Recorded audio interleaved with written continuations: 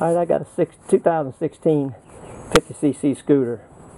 Uh, I bought it and uh, I got sick, and so I'm trying to sell it because I'm not going to be able to run it. But I had a problem with it, and I just can't figure it out. So I'm going to show you what's going on. Uh, I'm going to set this camera down here, so just be patient with me. I'm going to start it up, and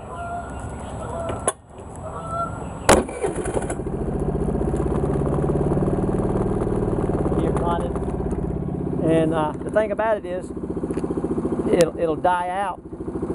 And, uh, you know, it, it, somebody needs to do some work. I don't know exactly what it is, but it'll die out on me. And it won't continue to run. It'll start right back up, though. So uh, I'm going to sell it.